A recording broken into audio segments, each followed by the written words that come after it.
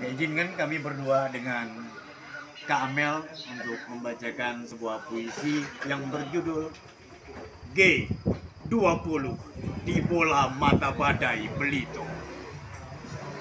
Inilah negeri mata badai, tempat orang-orang ramai bersiasat damai.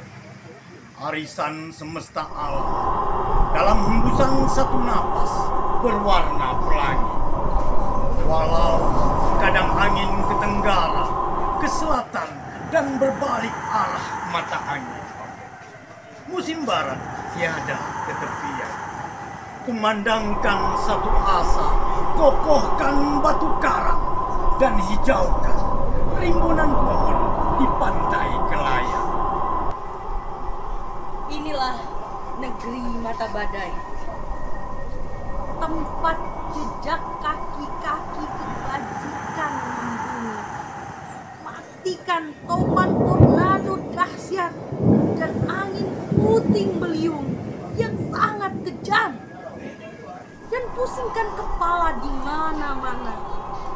Di sini, di bumi sejuta pelangi, kau temukan kedamaian yang sempurna di bingkai batu granit Garuda yang menjelma menjadi glaster salju bercahaya timpang. Inilah negeriku sang mata badai Belitung. Adalah tempat unik lagi beruntung.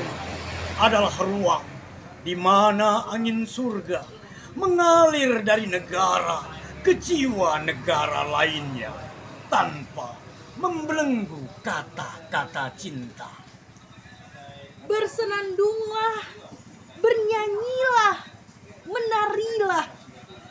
Dalam bahagia kau pucuk-pucuk menara. Akan terdengar seperti nyanyian dari surga. Di samudraku nan tenang. G20 The Belitung di bola mata badai. Pulih, bersama, untuk, untuk bangkit lebih kuat dalam kedamaian yang sempurna. Perenggu jangan lupa subscribe, jangan hanya krip-krip.